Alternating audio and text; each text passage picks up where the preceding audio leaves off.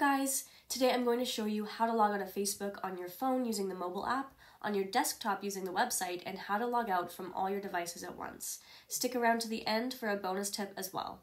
Let's jump right in. Okay, so to log out on the Facebook app is super simple. What you're going to do is click the menu button in the bottom right corner. And then from there, all you're going to do is scroll down to the very bottom and you'll find the logout button. And when you press it, it's going to ask if you really do want to log out of your account, and you can either click cancel or you can log out.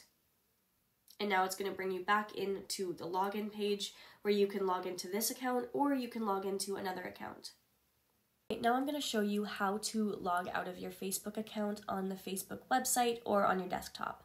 So we'll start by clicking our icon in the top right corner and that's going to bring down a bunch of options, including log out, which is at the very bottom. Super simple. So you'll click log out, and there you are, logged out. And here you can either add an account, you can log back in, or you can create a new account. So now I'm going to show you how to log out of all your devices. This one can be a little bit tricky, so follow along. You're going to click on your icon in the top right corner. You're going to click on Settings and Privacy and you'll click on settings.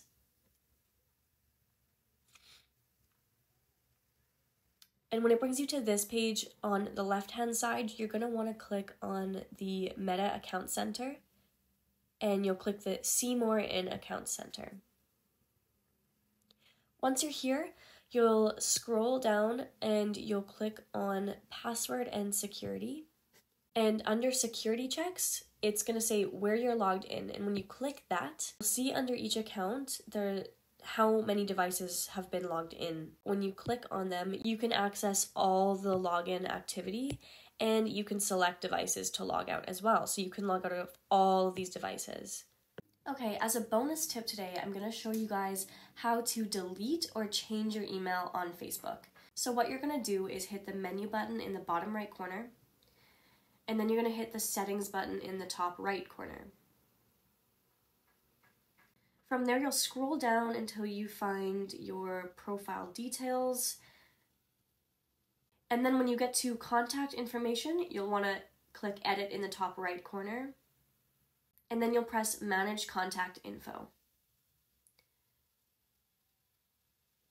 Now it's going to bring up your contact information that you have put into your Facebook and you'll click on your email and you can delete your email and add in a new one. Okay, and my bonus tip for you guys once again is how to delete or change your email on your Facebook account. So we're to go back over to the top right icon. We're to click on settings and privacy and then we'll click on settings.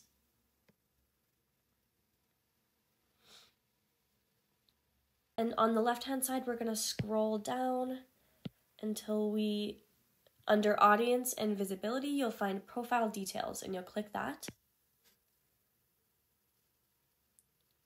Once you're here under about, you'll find contact and basic information and you'll click that.